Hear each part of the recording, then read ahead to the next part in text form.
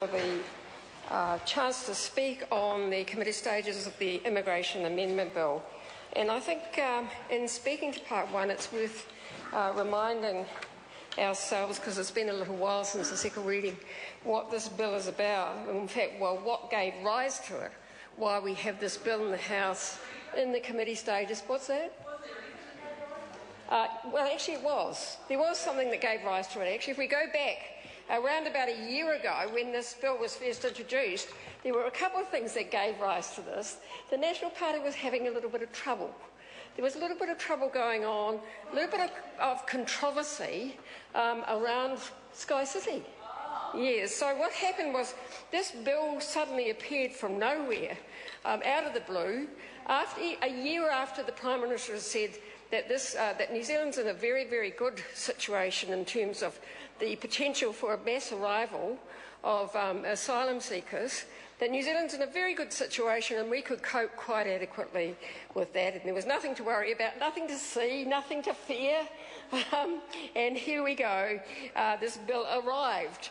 Um, and if you go back, Mr Chair, to the reason behind this bill, in fact, for the purpose of the bill, um, it was premised on the fact that uh, we would, at some stage in New Zealand, we could expect to see a mass arrival on a boat of 500 people.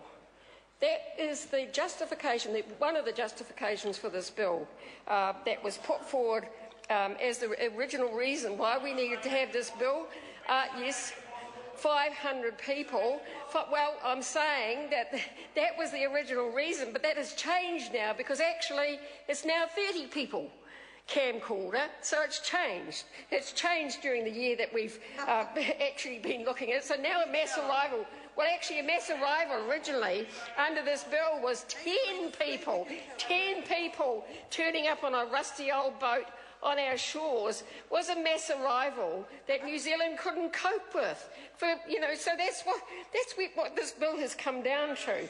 So uh, I am saying that the, it is just about impossible. Yes, I am saying that it is just about impossible. I'm also saying this bill is premised on a completely false assumption. It was based on a Canadian ship that came from uh, Sri Lanka, arrived on the Canadian, Canadian shores, chartered by the Tamils, by a big population in, in Canada, a steel-hulled ship uh, that sent, for some reason, sent our government into a panic and believing that a similar ship could arrive in New Zealand. Now, two things about that, Mr Chair. First of all, a steel-hulled ship carrying 500 people could never be funded by any population in New Zealand because we don't have the sizable Tamil population or any other in New Zealand. And second of all, second of all, there has never been an instance of any ship arriving in this way uh, the, since we've had the issue of refugees and since uh, going right back to the 1970s, in fact, when boat people, there was all this scare around boat people. So that was the first premise. It was premised on the fact that there would be 500 people involved in a mass arrival. This is in the regula regulatory impact statement. They'd all be from the same country. They'd all claim asylum and uh, they would also have to, uh, there were 62% of these claims would be declined following assessment. So big scare around 500 people. Um, and as we got further into this bill, of course, we found out that actually what the government was talking about was 10 people. 10 people turning up on a boat is a mass arrival that our country could not cope with. Now, honestly, that is, is so, so pathetic. The second thing um, that this bill uh, was premised on was, was supposed to be to deter people smugglers. Now, I find this very interesting. Because, of course, we, none of us support people smugglers. None of us, we all know that is something that is uh, at the heart of some of the problems we're seeing um, in Australia, which has given rise to the appalling detention centres that they have. Uh, in fact, a system that we're trying to copy with this bill. But as people smugglers, you know, they are crooks. They are the people that prey on the vulnerable, people that are, uh, are, looking for a better life, that are struggling, that have families and children that they're trying to get out of camps and so on. They, Mr Chair, Mr Chair. And so they are evil. So we support stopping uh, people smugglers. But what did we find in the last couple of weeks? We've actually let a people smuggler into New Zealand. We have granted that person refugee status. This, well, there's that one, but there's, there's another one. We've granted someone who was responsible for being involved in people smuggling, who the Australians are seeking. They want him extradited. Uh, he they, uh, was responsible for being, being involved in people smuggling where um, hundreds of family members, um, parents, and children were drowned when the boat sunk. Now, that person is living in New Zealand as a refugee, was granted refugee status. So, if we're so worried about people smuggling, surely the first thing we should be concentrating on, rather than this rubbishy bill, is making sure that we protect our own refugee system from people like that who are involved in people smuggling. We all know that punishing the victims of people smugglers, and they are the people that arrive um, in a rusty boat who often are in awful situations. They often end up drowning um, and all end up in horrible camps somewhere.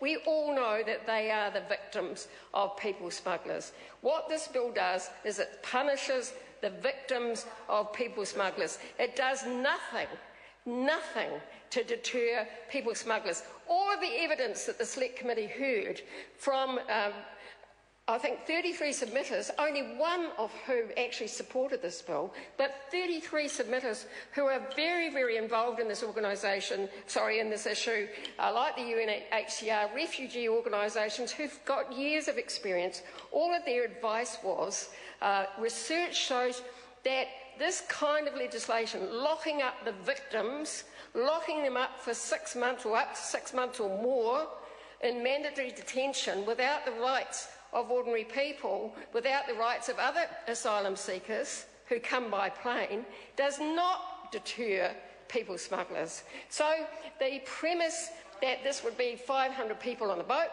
and the premise that this would deter people smugglers are false. Are false. So uh, the underlying question that I have to the Minister and the Chair about Part 1, Mr Chair, is what is really behind this bill? What is really behind this bill? Well, I think we know. I think we know. I think that the, uh, the minister, the minister of Immigration and John Key have got themselves in the big boys club. You know, along with Canada, the UK, Australia, and, and so on. Um, and they, they've got themselves, they've gone off to the, you know, the, the five country uh, conferences, and they've been persuaded that we should join with them in their immigration policies, which are wrong. Which are wrong. They've been persuaded, in fact, we know John Key was persuaded by Julia Gillard from Australia that we should take 150 of Australian refugees. Now, Julia Gillard is a smart woman. She got a great deal. She got a great deal out of that. Yes, and she's a very smart woman, and that's why she's the Prime Minister of Australia. She got a great deal out of that. What did we get? We got nothing. John Key got done.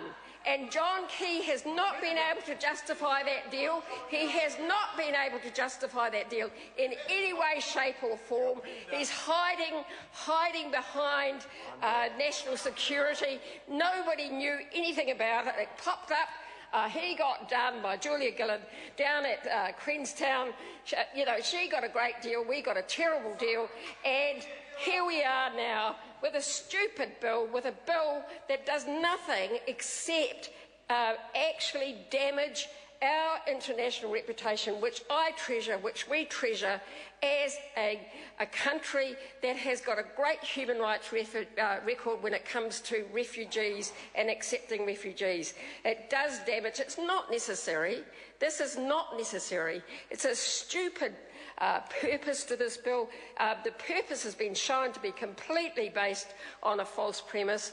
We're just uh, uh, debating a bill. I don't even know why we are wasting the House's time on something like this when 10 people could be locked up for six months, which is supposed to be such a critical, critical issue for New Zealand. Uh, 10 people might arrive on a boat one day, possibly, maybe, could, could perhaps happen, and we want to lock them up in mandatory detention. David Bennett. Mr Chair, um, I'd just like to acknowledge uh, members of the committee that are here today and um,